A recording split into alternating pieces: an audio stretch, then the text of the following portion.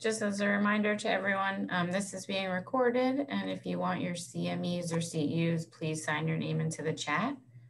Um, so ready to begin?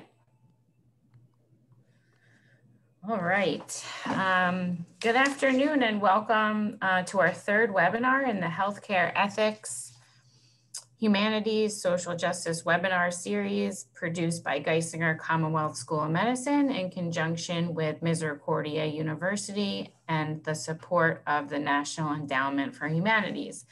Uh, my name is Carly Elman and it is my pleasure to be your moderator for today's session. Again, we'll be recording um, the session for educational purposes. Please sign into the chat um, and close your um, video and mute yourselves for good, for the best quality. So uh, human rights, including the right to health, are grounded in protecting and promoting human dignity. Although commitment to human dignity is a widely shared value and precise meaning and requirements behind the term are elusive. It is also unclear as to how a commitment to human dignity translates into specific human rights, such as the right to the highest attainable standard of health and their scope and obligations. Today's session will focus on human rights and human dignity in medicine, which again is a very timely and important topic. We are pleased to have so many of you joining us from 20 states and over 12 countries. There are no financial disclosures or conflict of interest. It's my pleasure to introduce Dr. Stacy Gallin, who is the founding director of the Maimonides Institute for Medicine, Ethics, and the Holocaust. She is also a visiting assistant professor at New York Medical College in the Biomedical Ethics and Humanities program and the director of the Center for Human Dignity and Bioethics, Health, and the Holocaust at Misericordia University. Dr. Gallin is the co-chair of the Department of Bioethics and, Hol and the Holocaust and the faculty member of the Department of Education of the UNESCO Chair of Bioethics. Through her role with UNESCO Bioethics, she has been part of organizing the committee for a series of international webinars focusing on the global ethical response to COVID-19. Along with the Davidson College star basketball play player Kellan Grady, Dr. Gallin recently started a social justice initiative called College Athletes for Respect and Equality, CARE, with the goal of educating and empowering athlete activists to use their platform to help promote equality, justice, and tolerance for all people. Also help me welcome Dr. Skyller Walkes.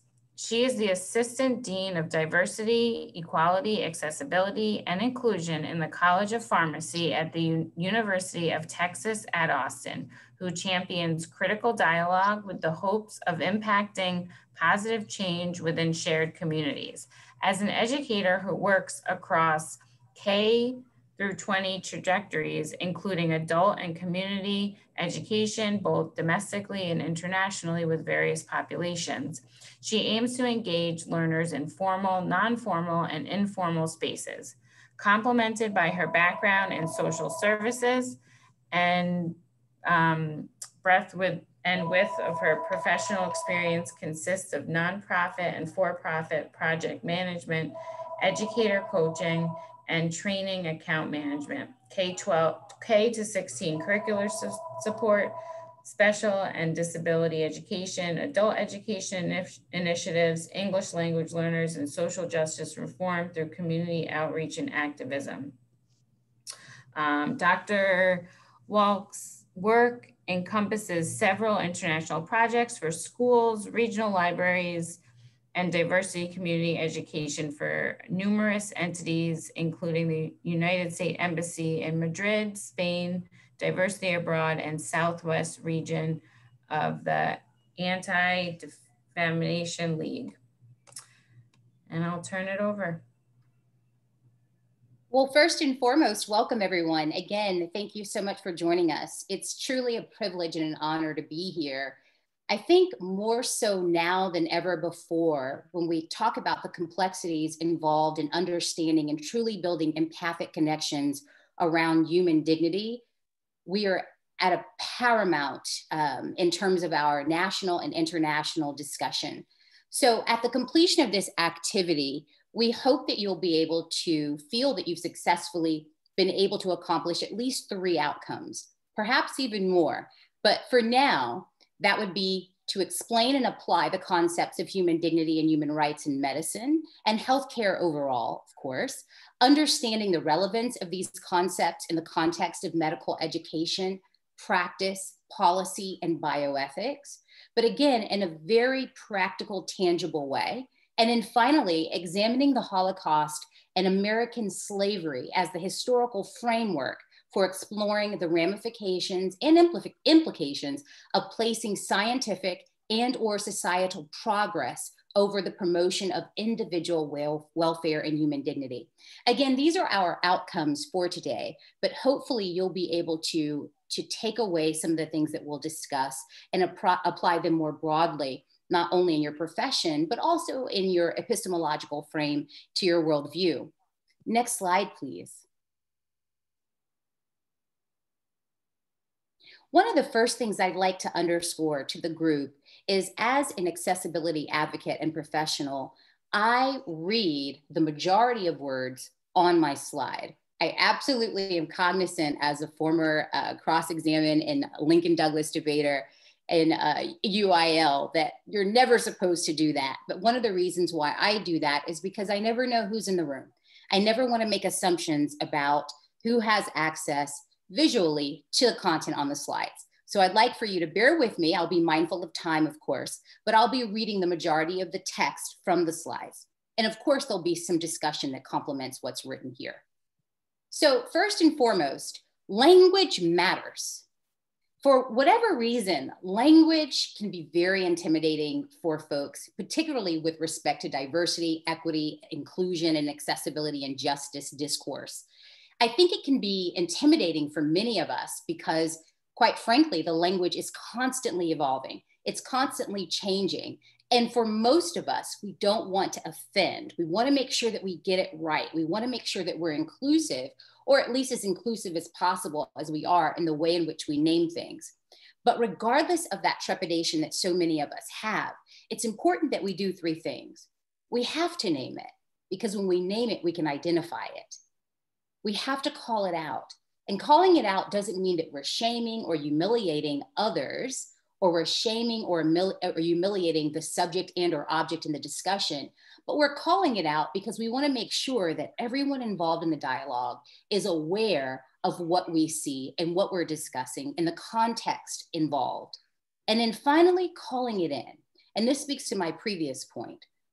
We all make mistakes in this work, even those of us who are credited professionals, we make mistakes because we're still on a journey of self discovery. But when we have the courage to call one another in around our mistakes, around correcting and redirecting perhaps some of the missteps that we make in this work, we're doing that from a place of restoration. We're doing that from a place that aims to essentially heal and restore. We're not doing that from a place of humiliation or shame.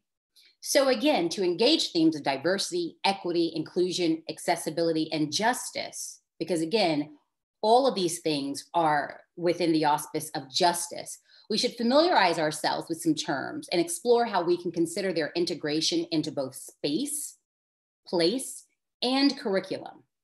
Because the bottom line is, regardless of whether we are medical professionals who are practitioners, we always have an opportunity to teach. And those of us who are both and, we should certainly make sure that we make an effort to bridge the gap, to again, um, to somehow reconcile the theory with the practice, which is critical in this work. So I'd like for us to review a few terms, and I'd like for you to share, again, you can do so in the chat, um, or you can unmute. I'd like for you to share how you've used these terms, if you have, in your curriculum, in your learning communities with other colleagues, and in your communities at large, even with patients. Next slide, please.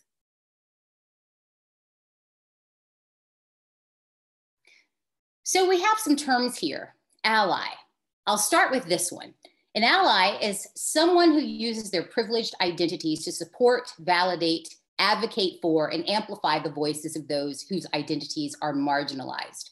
So that's pretty straightforward. And again, I want to make sure that I underscore that these are simplified definitions for diversity, equity, accessibility, inclusion, and justice terms. These are not drilled down in a very esoteric way. But I really want to make sure that I highlight something about ally. We've heard that term a lot lately. But here's the rub you cannot self define yourself as an ally, right? It's not something that you can self identify as. In other words, it's not exactly appropriate in terms of justice work to say, I'm an ally for X group, or I'm an ally for, for Y or Z group. Essentially, the term ally is something that's bestowed, if you will, upon others as a consequence of their efforts of support, largely based on the advocacy work and the support that they offer and assuming risks as members of a privileged identity group. So, in other words, I'll break this down for us. As someone who is a staunch ally to the LGBTQIA plus community, that is not a term that I self-identified as. That was a that was a term that was essentially given to me by members of the community who were able to essentially uh, uh, substantiate my work in the community. And also recognizing that because i held privilege as a cisgendered uh, straight identifying woman that i could interrupt spaces in my and from my position of privilege as an ally for lgbtqia plus persons who are experiencing marginalization so this is really important. It's not something that we self-proclaim, it's something that's bestowed upon us. I always like to say we're knighted as such. You're knighted as an ally as a consequence of your work. Anti-racism is pretty straightforward. Awareness, again, straightforward, a state of being conscious of something. Community, a social group of any size whose members often have a common cultural or historical heritage, conscious bias. And again, I'm going to push back a little bit around conscious, unconscious, implicit bias. You'll typically hear me just refer to bias as bias.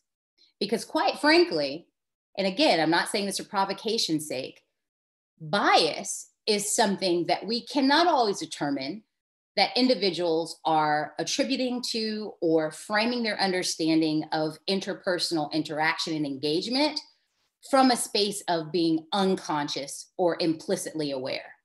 Sometimes bias is enacted upon others from a very conscious place. And I think it's important for us to make that distinction. Dissonance, again, the uneasy feeling you get from holding two conflicting beliefs, ideas, or emotions, indigenous, intersectionality, and most specifically, well, I'm, I'm going to go back to intersectionality here. It's again a buzzword that we've heard everywhere intersectional, intersectionality, but I do want to make sure that I really stress intersectionality does not mean multiple identities. It is not synonymous with multiple identities. Rather, intersectionality speaks to the ways in which oppressed identities, two or more, for example, oppressed identities around race, class, gender, sexuality, sexual orientation, ability, national origin, citizenship status, etc., are interconnected and cannot be examined without their connections to each other. So, in other words, we can have intersectional identities, but also maintain and have privileged identities. So, again, I'll use myself as a reference point here. As a self identifying Black woman who lives and was born in the United States of America, I experience a high degree, a high degree of privilege around my education as someone who holds an advanced degree or multiple advanced degrees. I hold a high degree of privilege. I call it passport privilege. Uh, well, up until recently, um, around being able to travel relatively freely across borders, if you will. And I also hold a high degree of privilege around food security, socioeconomic status to a degree. Not that I'm wealthy, but in terms of my position of marginality in the world, there's a degree of privilege that I hold there. However, I also hold a high degree of marginalization around my race identity and my gender identity.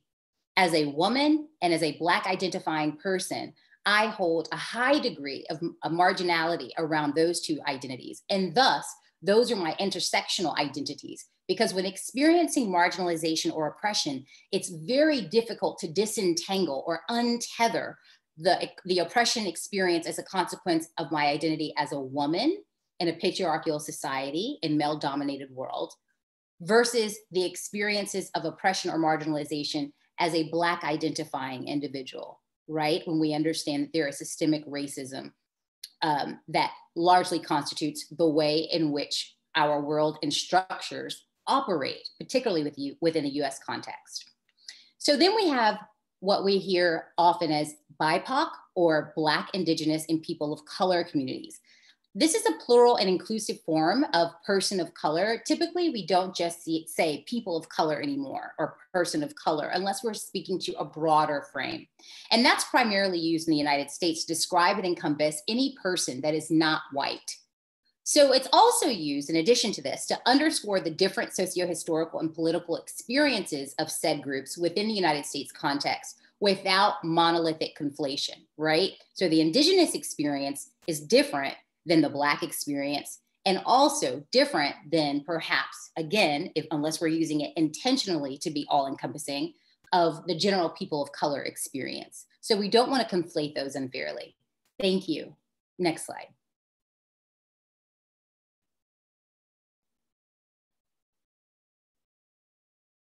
These are pretty straightforward again. We have protest. Again, this is not to be confused with riot. These two terms have been used interchangeably and we need to disrupt that. Queer, again, which is a term that's evolved, not necessarily for all members of the community, but by and large, it's an umbrella term used uh, oftentimes by LGBTQIA plus members of the community to refer to the entire community. But we have to be cognizant that because of the historical associations with that word, it also may be problematic with some members of community as well.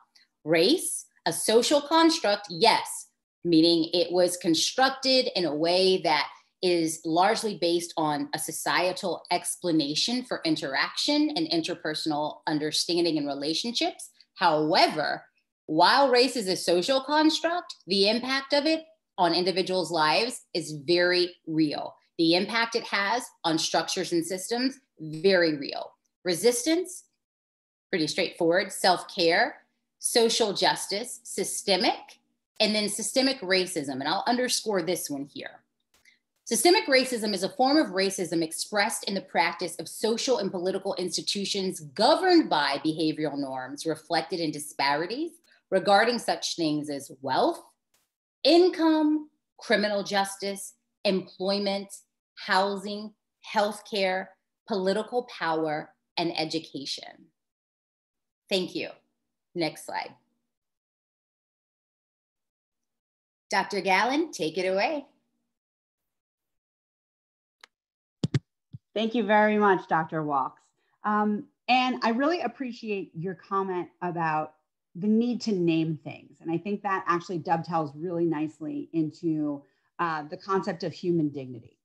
And when we talk about human dignity and human rights, I think that the concept, when people hear the words human dignity and human rights, in theory, it seems like something that people can get behind. Can everyone uh, hear me? Can you, um, Carly, can you just make sure that everyone I don't know if you can monitor this in the chat just to make sure that everyone's able to hear this because I see some people uh, sending me messages that say they are unable to hear this. Um, so Carly, just let me know if there are any issues on your end. Um, I can so. Okay, so just let me know if any anyone in the chat. Perfect. Looks like okay. a lot of people can hear you. Excellent. Thank you so much. So when we talk about the concept of naming something, before we can talk about human dignity and human rights and how those concepts can be applied, we need to understand what they mean. So um, we need to, again, to go back to what Dr. Walkes was saying, reconcile theory with practice. So human dignity has often been considered a theoretical principle upon which the idea of human rights rests. So human rights then becomes the practical application of the theoretical principle of human dignity. So um, the idea here is that it reflects a concern for the need to promote both respect for the intrinsic worth of the individual and the integrity of humankind as a species. That's important to understand because we're talking both of, um, from the micro level and the macro level. So on the individual level of human dignity and human rights, what, what are you owed as an individual? And then what are you owed in terms of humankind as a species? The Universal Declaration on Bioethics and Human Rights, which we refer to as the UDBHR, um, places respect for human dignity first and foremost in the list of principles that should govern the field of bioethics.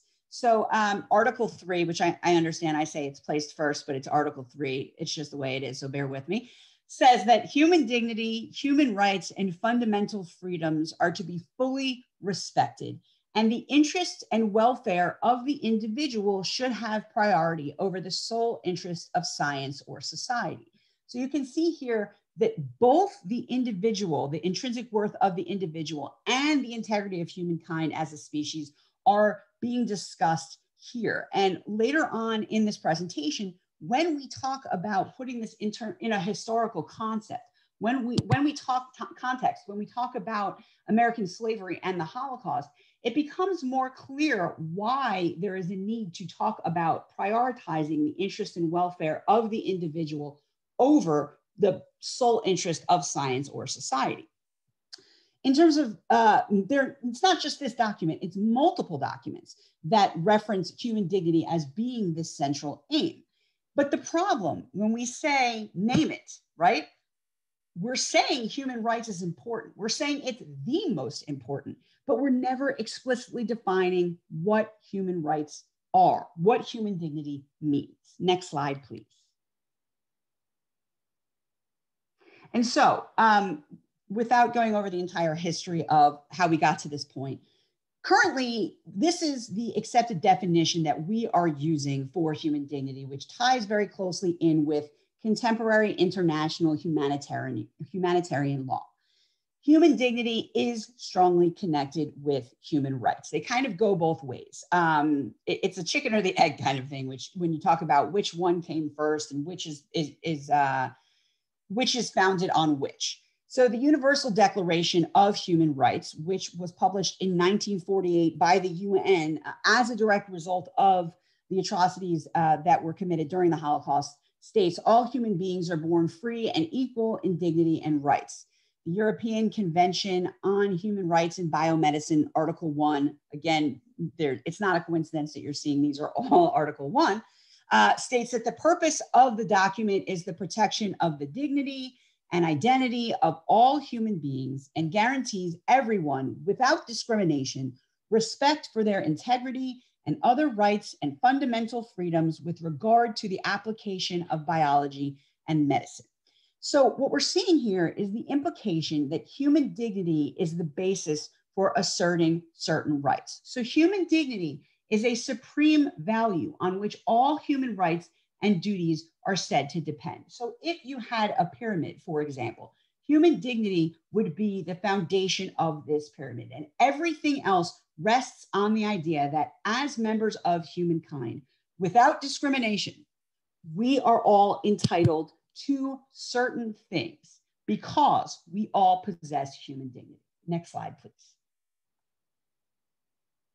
Okay, but there are some issues with this definition, right? And I think the first one uh, is probably the one that most people would be able to just take out of out of the last slide. The meaning, the content, and the foundations of human dignity are never explicitly defined. And that leaves all of these documents open to criticism because that foundation of the pyramid, which is supposed to be the strongest, right? If you don't really understand what that is, then that foundation is a little shaky. Um, and how can you build a pyramid on a shaky foundation? So, when we talk about affirmations of human dignity found within contemporary humanitarian law, what we're actually talking about is, is this is reflecting um, a political consensus among a variety of different groups that may have vastly differing beliefs regarding the exact definition, the genesis, the history, and the variety of ways that the term can be applied. So, what we're really saying here is that the base of this pyramid, human dignity, is actually a placeholder for, quote, whatever it is about human beings that entitles them to basic human rights and freedoms. So, that's tricky because we're really not providing a solid definition. There are no clear and unambiguous guidelines then for dealing with bioethical controversies if we are saying we're going to appeal to human dignity, if that is going to be the foundation for some of these things. Next slide, please. So then the question becomes, how can human dignity be defined as a useful concept? How can we strengthen that foundation of the pyramid? We need some type of ethical standard for the treatment of human beings. And again, when we talk about American slavery and we talk about the Holocaust, that becomes clear in practice why we need some type of ethical standard for the treatment of human beings. Obviously, there are many, many other examples, but we're just going to give you two today. This requires a conception of what human beings are and what they are entitled to merely as a result of being human, of being members of humankind. But that has to be understood in relation to the purpose of use. So again, to go back to Dr. Walkes' point before, there is a, a very, very strong need here to reconcile theory with practice. Next slide, please. And that really is what it boils down to. The fact that the notion of human dignity is so broadly defined can be seen by some as a criticism. it, it is a way, we don't have an actual definition. So this pyramid is shaky but it can also be seen as a strength because it becomes useful for the purpose of a public document that is being used by people all over the world. It's a way to express moral agreement among those from a very diverse cultural, religious, and moral tradition who may differ about how best to explain why human beings deserve respect, but yet all agree that they do deserve respect. And when you look at it from that way, it strengthens the foundation of that pyramid.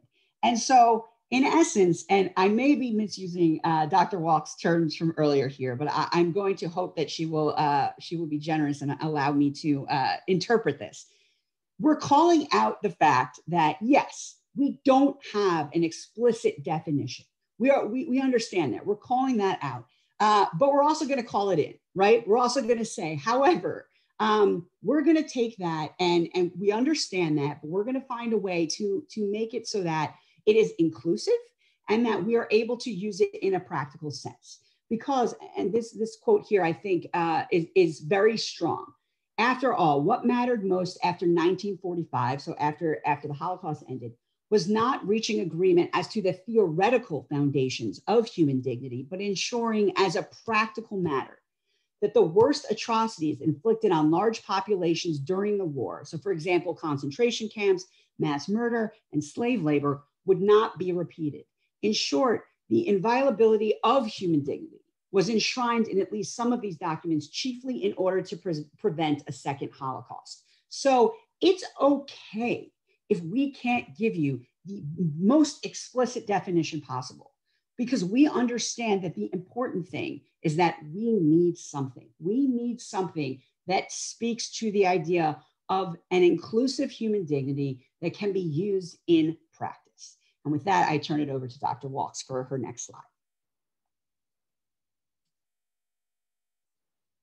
First and foremost, perfect use of terms, Dr. Gallin. So uh, you're, you get full kudos there. Absolutely. I fully support it. Brilliantly done so here's a point that I want to make when we talk about the practical application that Dr. Gallin just spoke to you about.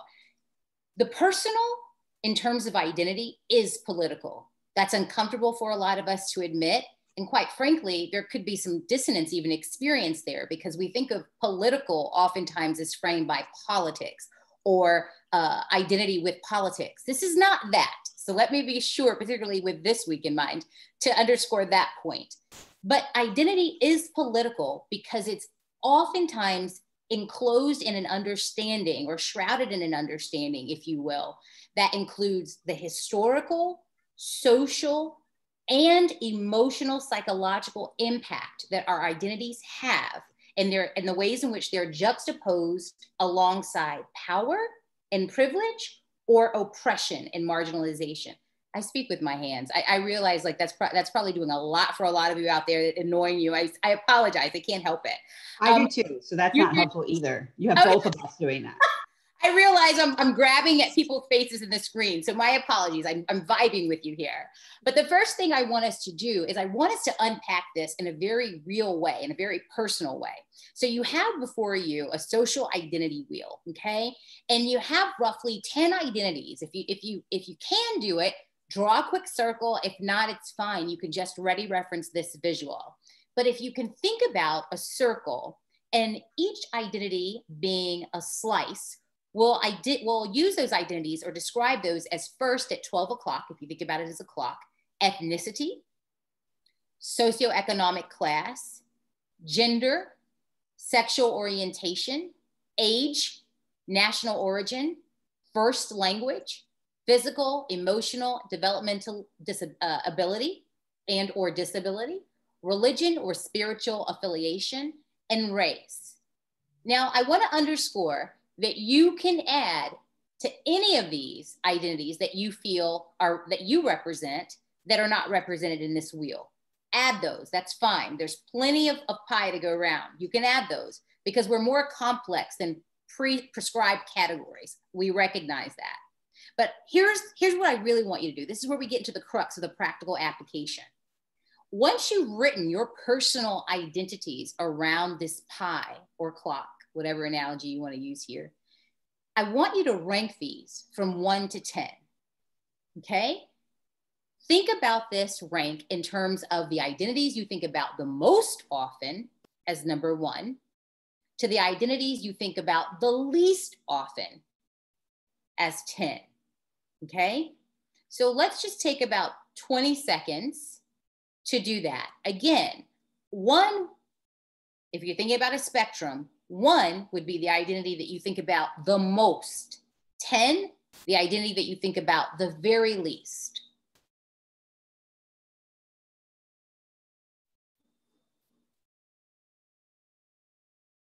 So since we don't have the gift of time lapse, we're gonna pretend that exactly 18 seconds have gone by. So again, if you didn't get an opportunity to do that, please feel free to come back to this because it, I think it's a, a, really challenging and at least self-interrogating uh, exercise to do. I've done it many times, but I'd love to hear from you in the chat. Again, please don't feel pressure, but I'd love to hear from you. What were some of the identities that you ranked high in terms of thinking about the most often, like your one to three? What were some of those identities that came about?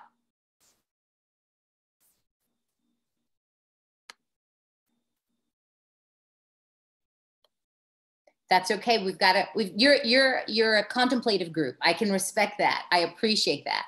I do want to offer an opportunity for you to share the identities that you thought about the least or that in this reflection activity you realize you think about the least.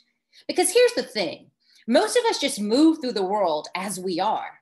We're not always conscientiously thinking about oh i think about this identity more. I think about this identity less which is one of the reasons reasons why self-interrogation is really important when you're talking about justice work.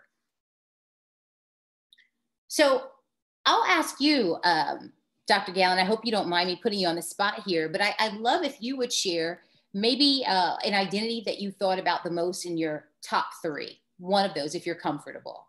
Sure. There's a few, sorry, Dr. Gallin. There are a few participants. Um, someone stated one race, two gender, three religion, uh, 10 socioeconomic status. Someone else said race, gender, first language. Awesome. Thank you. That's super helpful. So here's the part two, right? When you think about the way in which we rank our identities, typically, and again, you can challenge this, but typically, the identities that we think about the most are the identities around which we hold a degree of marginal, marginalization or marginality. The identities that we tend to think about the most, okay? The identities that we tend to think about the least are typically, not always, but typically the identities around which we hold a greater degree of privilege. For example, as a temporarily able bodied individual, and I say temporarily able because my great grandmother used to always say, just keep living, right? As, as we age, uh, our, our abilities may change and shift also temporarily. We may uh, have a condition or be involved in an accident that impacts mobility, for example, or had a surgical or procedure, etc. But these things can evolve. Um, so the way in which we attend to them can also evolve. But when we think about the identities that we think about the least, so I think I heard in their socioeconomic status, I want to ask you, could that be because you hold a certain amount or degree of privilege around that identity? Might that be one of the reasons why you think about it the least? Or ability, if that's one of the things that you think about the least, is it because you hold a certain amount of privilege around it? Or even religion or spiritual affiliation? Let's think about the ways in which we acknowledge even religion or religious holidays in professional environments. Which ones are assumed as the dominant context? Which ones are discarded or not even considered as a primary reference, but secondarily or even tertiarily, or only considered when it's brought to the organizational leadership's attention? These are considerations we have to make because, and I'll share this nugget here, identity must go beyond the clinical and intellectual associations that we use to inform context, our own intrapersonally and interpersonally, as well as our macro context, right? So, rather, a holistic approach to understanding all of the identities that individuals hold and ourselves as well help us to better understand our reality and ultimately our and others proximity to power privilege and or their experiences with oppression and marginalization. I know that was a little deep and it may feel a little a little stretched to make that connection but i really want us to apply that. Because not all of us have the same ranking. And that in and of itself tells us a lot about how we see ourselves and our positionality in the world contextually impacted or influenced by how we show up in the world. Next slide, please. So this brings us to Sankofa, a word that I, I love, and you, you're at home with me now, but I actually have this very bird in my house on the wall. Sankofa is a term, it's an African word from the Akan tribe in Ghana. And the translation of the word and the symbol that you see represented here are interpreted as go back and fetch it. And you'll see it's a bird with the neck craned towards the back and the beak looking like it's touching or about to grab an egg on its back, right? So that's the visual. And again, this is interpreted as go back and fetch it return to your past. It's not taboo to fetch what is at risk of being left behind. And the word is derived from the word san, which is to return, ko, to go, and fa, to look, seek, and take.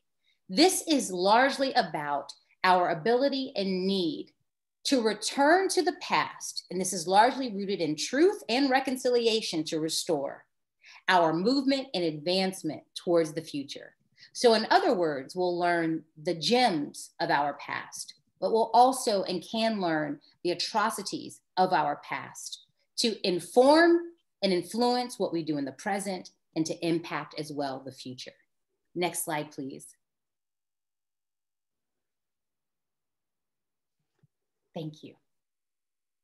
So, when Dr. Walkes and I uh, first spoke about how we were going to approach this presentation, what we were able to figure out is that we have a lot in common. Um, and even though we also have differences, I always like to say that there's more that that unites us. If you really sit and you really talk to somebody, there's more that unites us than there is a, that divides us. And so when we started talking about um, this this slide that that Dr. Walkes just showed you, I started telling her a little bit about one of the concepts that I work with, uh, which is called Lador Vador, which uh, in Hebrew translates to from generation to generation. Um, and uh, this is, is something, this Hebrew phrase is something that we look to for inspiration regarding how to utilize historical lessons to inform contemporary practice. So you can see that there's a lot of similarity there. The expression refers to the essential task in Judaism of passing down traditions and education from one generation to another. So it's how we honor our ancestors by telling their stories and our stories to our children and encouraging them to build upon the library of stories as they talk to their children. It's particularly important as a mechanism for preserving the memory of those who lost their lives during the Holocaust and making sure the world never forgets. So, um, and again, I've said this in each of the previous webinars, and I think it bears repeating. When we are, and particularly um, with everything that Dr. Walkes has said up to this point, when we are talking to you, we're coming with our own background and and things, you know, in our own social identity wheel that that kind of define us. And so my background, uh, my educational background, I deal a lot with bioethics and the Holocaust. And now the PowerPoint is gone. Um, but fortunately, I happen to have uh, a copy in front of me. So what I'm going to say is that I deal a lot with, thank you. Uh, I deal a lot with bioethics and the Holocaust. And so I feel very strongly that uh, it is a responsibility to our ancestors, to those whose voices were silenced during the Holocaust, uh, who were persecuted and killed for being Jewish, to tell their stories, to pass down their traditions, and to educate and empower the next generation. That's to me the concept of Lador Vador, to become active agents of social change who will fight for freedom, tolerance, and justice for all people. It is therefore incumbent upon us to give a voice to the generation before us who were silenced and to help the next generation uh, to find and amplify their voice. Um, everyone has a voice, and this is something that Dr. Walkes actually uh, she taught me is that uh, everybody has a voice, but some voices are heard more than others. And I think that goes back to the idea again of, you know, privilege and power and where people sit in the hierarchy of privilege and power. So uh, part of part of what we can be doing, I guess, um, in terms of the idea of being an ally, is you know to help kind of amplify these voices. And so this idea here, which I think fits to both what Dr. Walkes was saying with Sankofa and also the concept of Lador Vador, Remember the past, protect the future, act now. Next slide, please. And so that brings us to the idea of how, you know, this hierarchy of human life, when we're talking about the power dynamics and things like that, there are certain characteristics throughout history that society has deemed to be favorable. And uh, unfortunately, science and medicine are sometimes used as the justification for the labeling, persecution, degradation, and mass atrocities inflicted upon those deemed inferior, unfit, or unworthy. And historically, these ju- judgments have been based on a variety of factors. So, economic worth, for example, the value of the individual to society is based on their ability to provide goods or services, or hereditary worth, where the value of the individual to the health and progress of society is based on inherited traits. So this is something that um, we've seen again in the examples that we're going to use, both in terms of what took place during the Holocaust and the example of American slavery. And what you see here is the political ideolo- political ideology combined with the idea of scientific justification and then the medical or the technological capabilities to carry those things out leads to the promotion of discriminatory policies under the guise of scientific or societal progress. So when we're talking about the importance of human dignity and human rights, right? This is why we need to talk about these things because historically speaking, we've seen them happen before, and we can still see the hierarchy of human life that continues to exist. Next slide, please.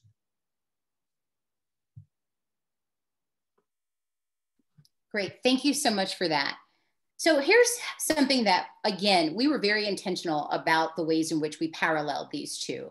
Again, we were not conflating them, but we wanted to make sure that we were able to draw parallels because, again, it's about the ways in which the social and the political have been able to dehumanize the oppression of a people through slave labor. So if you'll if you'll look here, you'll see that we have a quote, and this is actually based on our, our work and experience. This is actually a photo. It was actually taken from Sachsenhausen, which is a concentration camp that I visited some years ago. And you'll notice the words here. The translation or interpretation, if you will, are work will set you free. Okay. And I have a quote here that I want to further explicate um, around this point. Again, identifying the parallels around systemic persecution and the dehumanizing oppression of a people through slave labor is that, quote, less well known is the fact that the Nazi program included some 1,600 forced labor operations. During the 12 years of the slave regime, millions slaved and perished within them.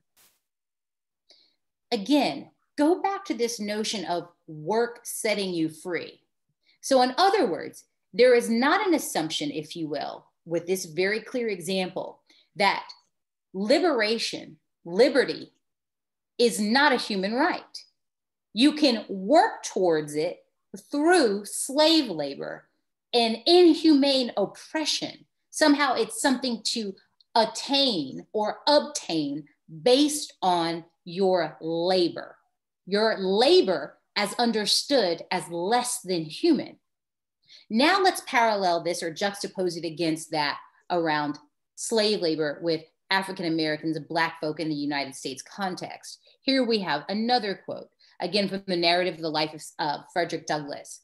We were all ranked together, uh, excuse me, we were all ranked together at the valuation. Men and women, old and young, married and single, were ranked with horses, sheep, and swine.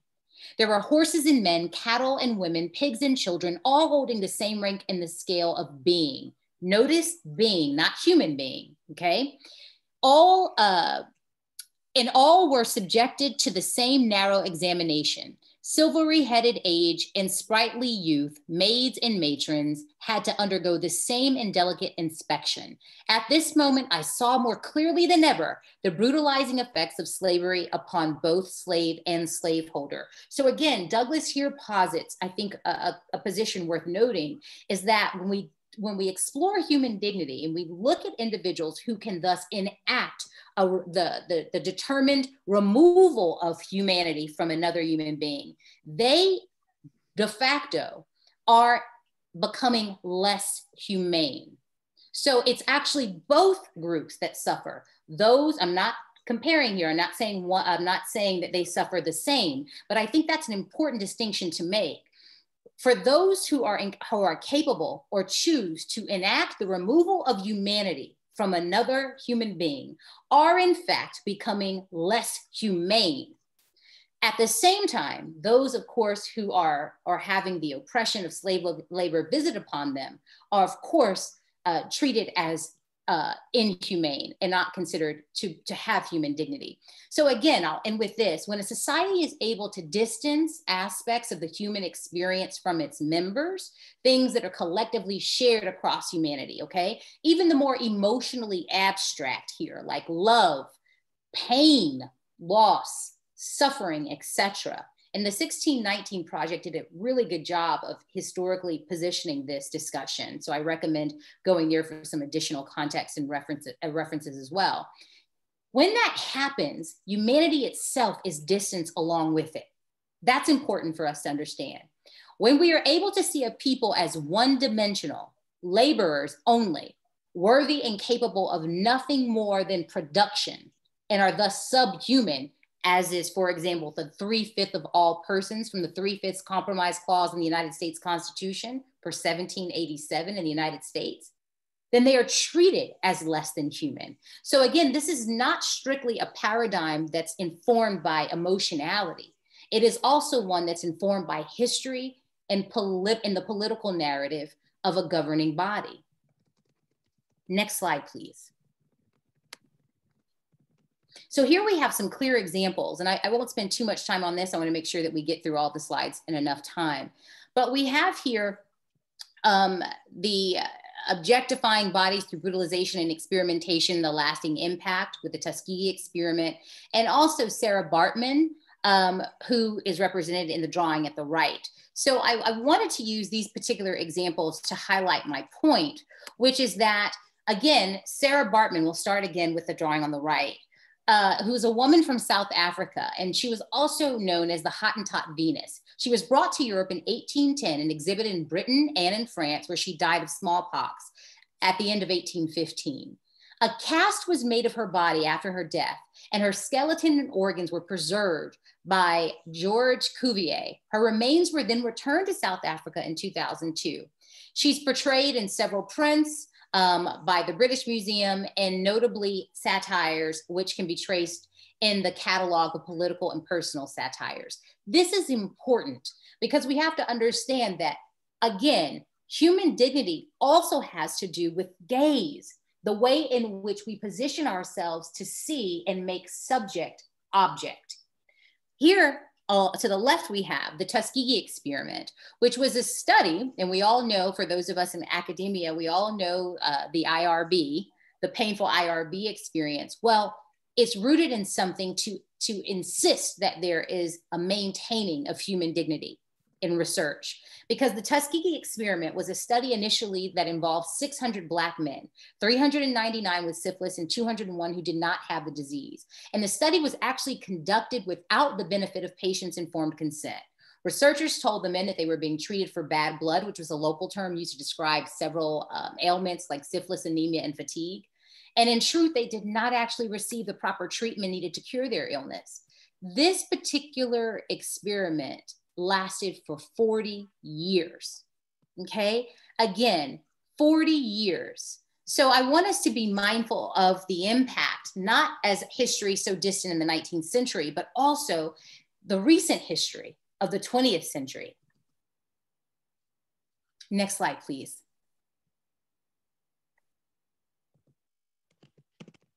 So really quickly, um, when we talk about intersectionality, which I hit before, I want us to also think about forced and involuntary sterilization, which has come to the forefront yet again uh, with respect to what's happening at detention centers uh, along the borders of the country. So really quickly here, folks who were targeted historically, and this also happened in concentration camps, um, but within the US context here, individuals with disabilities, poor women, and Black women. And I'll, I'll read this quote Sterilization rates for Black women rose as desegreg- desegregation got underway. So until the 1950s, schools and hospitals in the United States were segregated by race, but integration threatened to break down Jim Crow's apartheid. And the backlash involved the reassertion of white supremacist control and racial hierarchies, specifically through control of Black reproduction and future Black lives by sterilization. Next slide, please.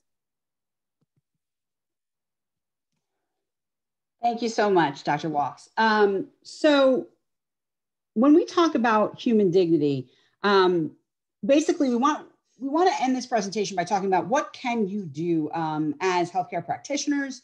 Um, what are some things that you can do? And I think when, we're seeing this here, we're seeing um, the, the clinical encounter is a confrontation. Uh, it's a face-to-face encounter between someone who professes to heal and someone who uh, technical difficulties. Okay, we're, we're gonna go to this slide because this slide, or not, we're not gonna go to that slide. One way or another, we're gonna figure out which slide we're gonna go to. You can go past this one, that's fine. You can go straight to slide 22, I think will be perfect. So let's talk about the practical implications for the daily clinical encounter. So uh, what can we do? It's really important to enhance a doctor-patient relationship by reminding healthcare professionals that each patient is a human being. So not a diagnosis or a case or a room number or a disease, right? Each person is a person, they're an individual. And that goes back to what we were talking about before, the very meaning of human dignity. Just by virtue of being a member of humankind, you are entitled to certain rights. Uh, you are entitled to be treated like a human being, not like a diagnosis or a case or a disease. Um, the second point I think is really, really important in light of some of the things that Dr. Walkes touched on before. We need to acknowledge and recognize the historical patterns of dehumanization and the abuse of power that has led physicians to abandon their oath to respect the human dignity of all patients. So the concept of dehumanization is something that has been really, really important in the history of the abrogation of ethics that has taken place in the medical profession.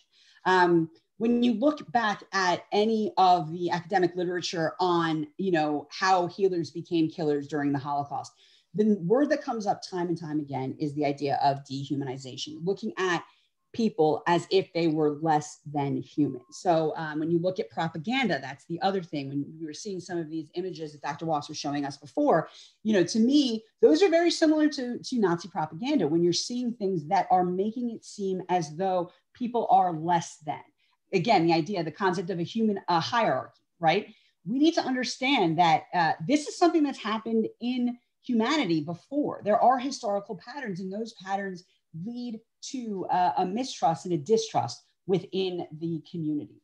And so um, we need to understand how that type of generational trauma and mistrust informs the patient experience on multiple levels. So, both on an individual level, in terms of the relationship between the healthcare professional and the patient, and also in terms of a systemic level, who is likely to go and seek care, right? If you have constantly felt like you are part of a marginalized population that has been uh, unfairly treated by the healthcare profession, why would you want to go back to these people? Why would you think that these people can help you? Um, I received an email from a student not long ago uh, who was talking about uh, her grandfather, who was a Holocaust survivor, uh, who married a woman who uh, was schizophrenic. And this student uh, told me that she never understood why her grandfather wouldn't take her grandmother to a doctor. But if you go back and you look at the history of the Holocaust and you look at what happened within the field of psychiatry and how many people with schizophrenia were uh, were killed, they were seen as being unfit, hereditarily unfit, and they were killed. It became a lot clearer to her when she started hearing those stories. Her grandfather was trying to save her grandmother's life by not taking her for quote unquote help. He didn't look at it as being help. He thought if he took her to somewhere like that, he would never see her again. They would take her away, and that would be the end of it. So these are things that we need to understand generational trauma. And we also need to understand, again, going back to the idea of the social identity wheel, how might that affect the doctor patient relationship? How might the way in which, you know, people define themselves, their identities, and, and the power differential that comes with that, how might that affect the doctor patient relationship? Human dignity is a reminder that each patient is a person who deserves to be treated with respect and care, regardless of his or her gender, race, relation, religion, socioeconomic status, etc. We need to remember that. We need to honor that. I would say not just in medical practice, but in society as a whole. And I do feel that today is a pretty good day to drive that point home, right? Um, as members of humankind, we are all entitled to be treated with dignity and respect, but that means that we also have a responsibility to treat others with dignity and respect. And that is the purpose of today's webinar. That is really what we want to make sure that we can uh, impart on all of you, if I may. So uh, with that, I believe it looks like we are at the end of our time. Um, I believe if we go to the next slide, please, you will see that we have uh, some resources that we've used from this slide, which we are more than happy uh, to make available to you if you would like any more information about this. And then if we could go to the next couple of slides, we would like to thank uh, everyone who's been part of this entire webinar series. Um, this wouldn't be possible without each and every one of your help. And we are very, very fortunate to have your support and to be able to do something like this, which is so important, uh, again, particularly right now. And the final slide here, you can see that the next webinar on race, culture, and generational trauma in healthcare will take place on Thursday, December 3rd uh, at 12 o'clock p.m. Eastern time. So um, with that, I think that we are out of time. Um, and if anyone has any questions that we weren't able to get to, um, hopefully Carly will be able to um, give us those questions and perhaps we'll be able to answer them maybe via email. I believe that uh, we've seen in the chat the CME credits that you have to fill out. Carly, is there anything that you'd like to add about uh, any of the forms that anybody needs to fill out? No, please just sign out your name if you want um, CMEs or CEUs and also fill out the evaluation. Um, and there was one question in the beginning. I'll try to get that to you, um, but also our speakers' emails are on the screen. So if anyone does have any questions, I know they're willing to to answer those. Um, I just personally want to thank Dr. Walkes. It was an absolute joy to do this presentation with you. Um, and I think also very beneficial to people to have um, people from different perspectives speak on this topic to see again that uh, there's a lot there's a lot more that unites us than than that divides us. And I think um, that's a powerful point again when we're talking about a webinar on human dignity and human rights and the importance of kind of um, educating people on that, empowering people on that, and what we can do to help that. So, Dr. Walkes, do you have any final words for us? I do. I just want to say thank you so much. This has been an absolute joy and honor. And again, in terms of relevance and timeliness, that we couldn't have had a better a better day. I think. Um, I'm happy to address the, if I have the time to address the question. Is that okay? There was one question. It says, uh, if using the word ally is not an appro- is not appropriate to self-profess, bestow upon myself, or use as a way to identify our position as an ally to others, what is the appropriate way to identify ourselves as a person who does uh, who does uh, align themselves or ally work with specific marginalized groups. I absolutely think saying that I aim to be, or, or I, my work is that I aim to be an ally with this particular group. And then there's a humility that's understood that you're recognizing as someone who holds a position of power or privilege around that identity, that you are offering or proffering a degree of humility in saying, my work and who I am aims to serve and support right through allyship this community. I think that's it's is as simple as simple as that. Thank you so much. Um, someone did ask for the uh, resources um, that you guys um, put up so i put that in the chat i'll send it to everyone too um, and with that, thank you again so much um, for your presentation today and participating in this webinar series. And thank you to everyone um, who came. I hope everyone has a wonderful day.